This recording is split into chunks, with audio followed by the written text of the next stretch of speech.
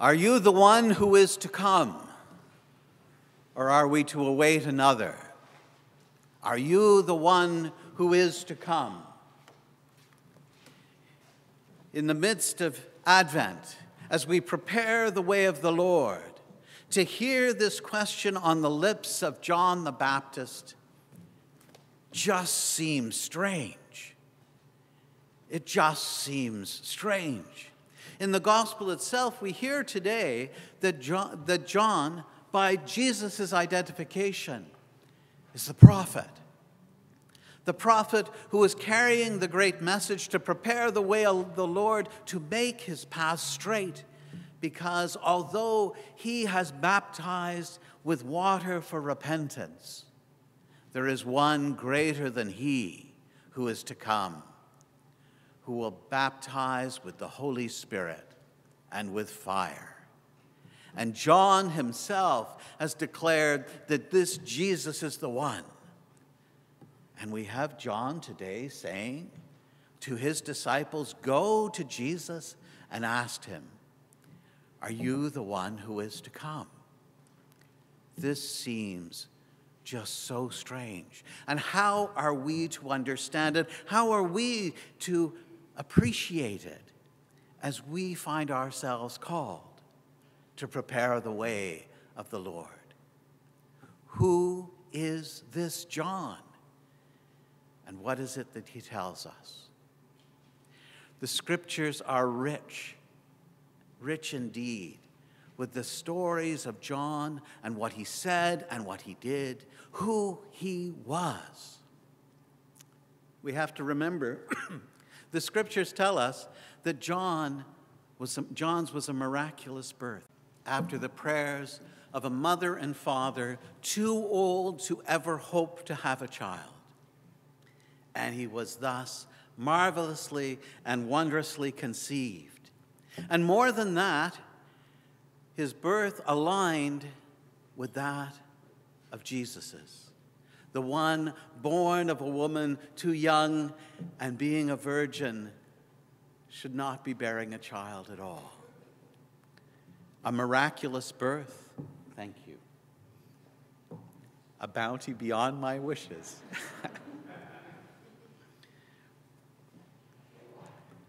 a wondrous gift of God, born to be a prophet. We're told that John grew in the strength of the Spirit. As his father had promised, he never had strong drink. He was given aside to the purposes of God's fulfillment. He wore rough clothes and a leather belt and was out in the wilderness eating uh, locusts and honey. And he spoke with power so that the world knew that what he said was coming from God. And people came in droves hearing what he had to say, to repent and to turn their way to the Lord. But he did not stop there, not just saying that the promise was being fulfilled, but he identified that promise that the one, as the ancient texts had promised, the one who was coming he was not worthy to tie the sandals for. And he identified that one as Jesus. In the scriptures, John is known to have stood in the streets of the city and seeing his Lord pointed to him and said, This is the very Lamb of God who takes away the sin of the world. And the scriptures are so full of the wondrous story of the place and time of baptism when crowds were coming and their hearts were stirred so that they entered the waters of baptism for repentance. And there Jesus arrived. And John, recognizing him, saying, This is not the way it ought to be. You should be baptizing me. And yet he submitted and pointed the way that Jesus' will would be done, that God's will would be done. And here we have John saying, Are you the one who is coming? How does this make sense? What is this moment? And how can it be? What we have to know is John is asking this question from prison. He has stirred the people up, he has upset the order of things, he has offended the king, and he is in prison. He has gone so far as to point out to the king and to the world that the king is living in sin for having taken his brother's wife. John's not a shrinking violet. He is there in prison. And so we might think is John now fearful and, as we know, will be facing death? Is he in his fear turning now to doubt and to want to hear from Jesus that he's chosen the right way. Maybe so, but I don't think so. We also know that this imprisonment has gone on longer than anyone might have expected. And maybe it's the sense of despair and desperation that the fulfillment of God's promise has not yet happened. So, so maybe, maybe John is asking, when? Or is it going to be someone else? Well, it could be, but I don't think so. John had never wavered from his ministry and mission. He had never been fearful to speak out the truth. He had never been fearful to say that everyone who came to the waters needed to repent of their lives. He didn't shrink when the scribes and the Pharisees came hypocritically, and he called them a brood of vipers. When he knew of the sin of the king, he could have remained quiet, but he did not. He called for repentance from everyone and was not embarrassed to do so. Did John ask his question out of fear or despair? I don't think so.